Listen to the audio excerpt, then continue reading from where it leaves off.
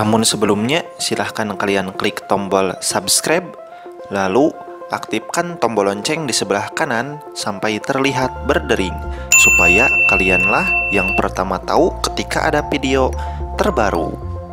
Terima kasih. Assalamualaikum warahmatullahi wabarakatuh. Untuk mendapatkan kulit putih, cantik, mulus, serta bebas jerawat, kita perlu perawatan konsisten.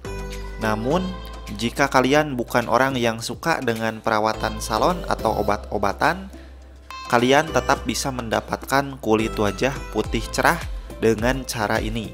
Perlu diketahui, ekstrak jeruk nipis mengandung antibakteri. Jeruk nipis juga dipercaya mampu mengencangkan kulit, meluruhkan kotoran yang menyumbat pori-pori, dan mengurangi jerawat serta komedo. Selanjutnya, kita membutuhkan satu buah telur yang akan kita ambil putih telurnya saja ya.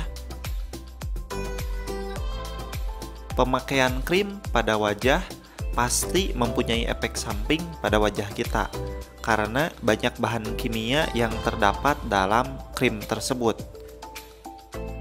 Putih telur mempunyai protein yang mampu menjaga dan melembabkan kulit wajah kita.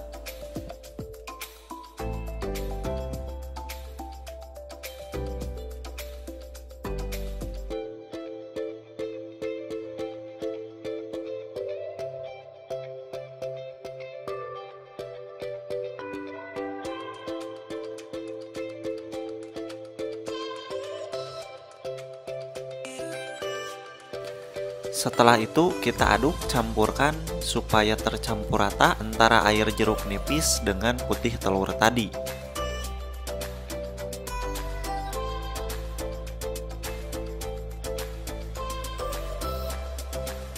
Setelah semuanya tercampur rata, kita bisa langsung mengaplikasikan ramuan ini ke wajah kita.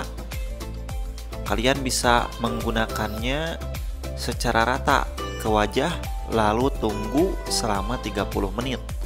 Setelah itu bilas mempergunakan air sampai bersih.